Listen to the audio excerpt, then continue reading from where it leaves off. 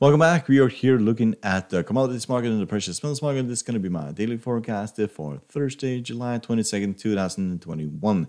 If you'd like to support the channel, you're welcome to hit the subscribe button down here in the corner, hit the like button, the bell button to see our news videos, and we'll start by looking at the US dollar index. And as you can see, we did hit the uh, top of the Bollinger Band yesterday, and we tested it yet again today, and then we pulled back. Question is, how far would this will pull back? And 300 moving average is right here. Uh, 92.5 and then we have the middle of the Bollinger Band right here 92.3 and that's probably as far as this will go as we can see that we have basically bounced from that area the last uh, basically the last few weeks. We are most likely going to have a crossing of the 20 exponential and the 300 moving average the 50 moving average and the 200 moving average and all of those are fairly bullish signs that we are going to see this continue uh, going higher. If we manage to take out the highs here of roughly 93.4, then we are probably going to these highs at 94 and then 94.7 and then beyond that. Technical indicators are looking fairly bearish at this point. MACD is flat, stochastic is becoming bearish, and the RSI is bearish as well. But we are fairly overstretched. We have been rallying since this was basically in the beginning of June all the way to the end of June, uh, July, and at this moment, a pullback is naturally uh, expected as we are overstretched and overbought, nearly overbought at, at that point. So let's look at oil. So oil has really uh, rallied today. We are up more than 5%, 5.4% at this current stage. And uh, we have broken above the 50 moving average. We're trading at 70 0.10. You can see the MACD is still bearish, the stochastic is bullish, and the RSI is bullish as well. So we have seen similar moves before. We saw, for example, three consecutive days, for example, here, and then we continue rallying. If we manage to break above the 20 exponential in the middle of the Bollinger Band, then we're probably going back towards the all-time highs here, uh, not the all-time highs, but the highs of roughly at uh, 76, and then going to 80. So I would not bet the ranch on that. Uh, we may basically pull back when the market uh, reopens and taking out this lows here of uh, 60, 65.1. That opens the door back towards 60. And uh, I would pay attention to the US dollar. If US dollar continues to uh, appreciate, then that should work against this, um, against oil and most other uh, commodities as well. Um, so, yes, it's kind of waiting game, but a really impressive uh, move today. So let's look at natural gas. So natural gas hit the highs here are roughly 3.9 and now we're trending at 3.9030. MACD is bullish, stochastic is bullish, and the RSI is bullish. So at this current stage, we need to look back where we basically will find in the next major resistance because as you can see we have basically broken above this resistance line here. The next one is uh, far far above. So manage to break above four then we could be heading towards five. So we are getting very overstretched here for example in in the weekly chart. We are at 77 significantly overbought. We are at the top of the Bollinger Band but every single time we have a my, basically a pullback this rallies. So we are the distance between the, where we are now and the 20 exponential in the middle of Band is quite substantial.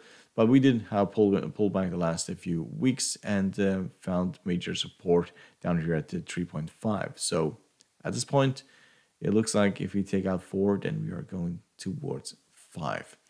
So let's look at copper. So we'll start by looking at the week daily. So copper is still struggling at the 20 exponential. It rallies up towards the 20 and then it breaks, it breaks down. We are still descending lower. So gradually just going lower, lower, lower. If we manage to take out these lows here at uh, the 4.09, uh, then we are mostly going to 4 and then the 200 moving average. It doesn't look very bullish for this market whatsoever. Um, 20 exponential, we're struggling there. And then we have the 50 above, and we'll definitely struggle there if we get towards that um, moving average. If you look at the technical indicators, we can see the MACD is bullish, stochastic is bearish, and the RSI is bearish as well. So around 4, 200 moving average, that is probably where we'll end up at this point if nothing really happens here and this basically breaks above the 50 and goes back towards the highs. So let's at gold. So gold did run into major resistance here. At the 200 moving yesterday broke towards the level middle of the Bollinger Band and then basically bounced. We're still down today, and uh, US dollar depreciating should were should be bullish for this. However, we need to break them below the middle of the Bollinger Band in order to go towards the 70 50 break below 70 50 that opens the door to these previous lows here the double bottom of 1678 technical indicators they are all turning around. Macd is still bullish but it is leveling off. Stochastic is bearish and the rsi is bearish. So momentum looks like is to the downside but we need to break below this in order to go towards 70 50 so let's look at silver So silver has bounced off the 300 moving average and roughly we were very overstretched here on uh, yesterday I was on Monday and today we were way outside of the Bollinger Band and then re-rallied. At this point it kind of looks like we're going to test back the 200 moving average and the, or the middle of the Bollinger Band roughly at 25.93. Technical indicators are all still fairly bearish at this point. So break below the 300 moving average then we are looking at much lower levels. Then we are probably going to focus on this area here at the 22, but 300 moving average is still holding here, and uh, we are most likely going to have a crossing of the 20 exponential and the 200 moving average and the 50 moving average and the 200 moving average in the long run if this basically continues. So let's look at platinum. So platinum fell off a cliff on Monday and on uh, uh, now on, on Tuesday, oh, this one, Monday, Tuesday, and now Wednesday we rally, sorry.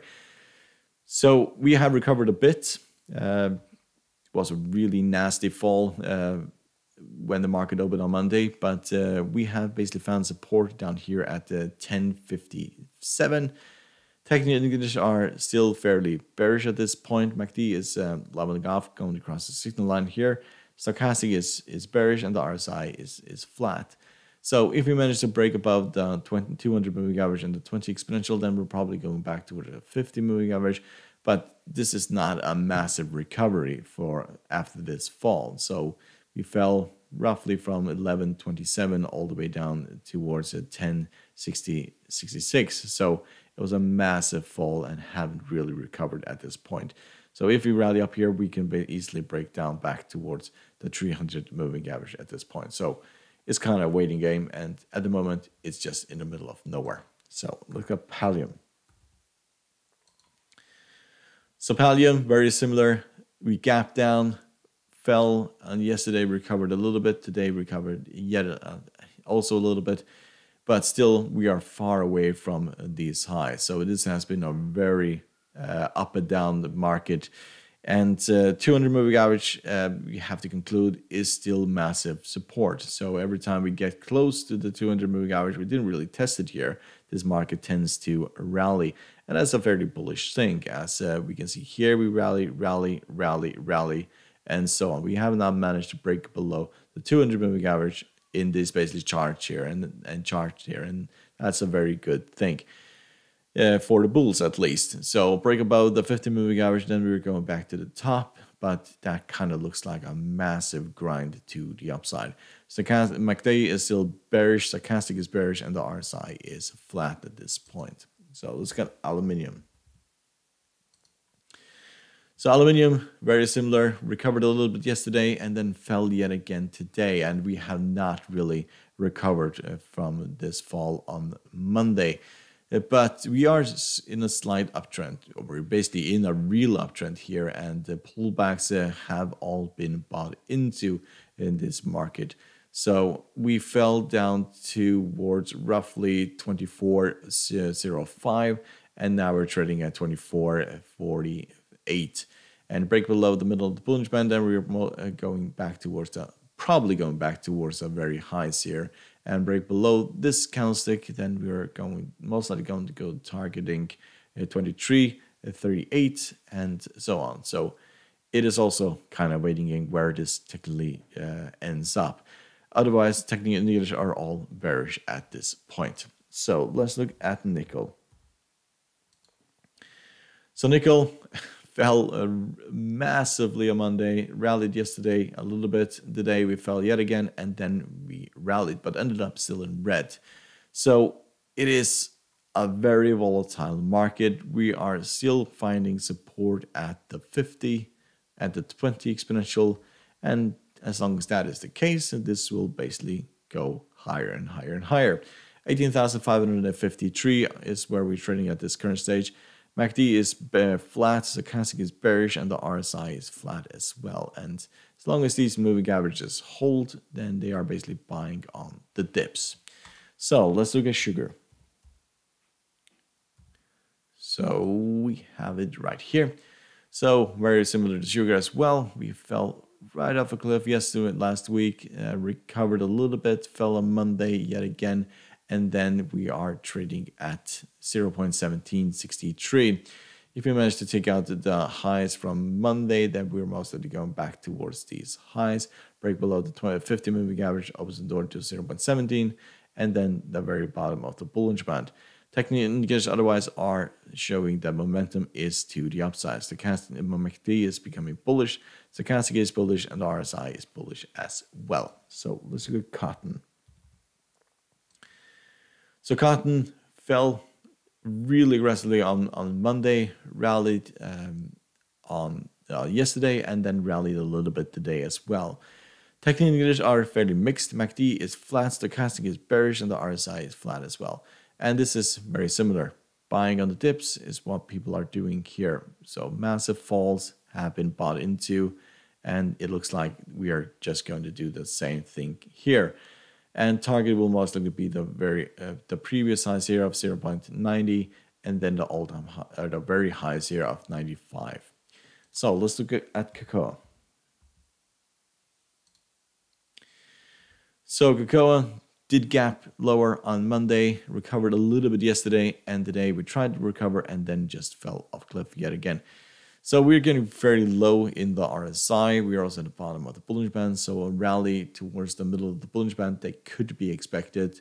Um, there's a massive gap here that we need to need to fill, but still long-term trend for this year has basically been negative. So we started off here in December last year uh, where we rallied massively, and then we have basically just gradually gone lower and lower and lower.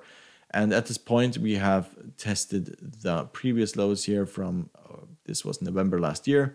If that basically really that breaks, then we are going back towards the lows from last year of 2096. And that's kind of where we're ending up at this point. Technical indicators otherwise are all very bearish. So let's look at wheat.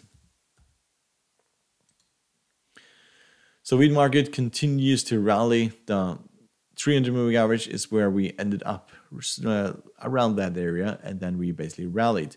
We're still very overstretched, so pull back towards uh, support, which should be around uh, 700. That is kind of, um, yeah, where we found resistance here and uh, also where we found, found resistance here. So pull back around this area, that could be where we continue to rally. Technical indicators, we can see the MACD is bullish, the stochastic is bullish, and the RSI is bullish. We're at 64 in this current stage, still a lot of room to the upside. We're most likely going to have a crossing of the 20 and the 200 moving average, uh, oh, 20 and the 50 moving average, and that should also very be very bullish. So at this current stage, it is fairly overstretched, and a pullback could be expected before going higher. So hope you found this helpful. Want to support the channel by subscribing and hit the like button above to see our news videos, and good luck, and thank you very much.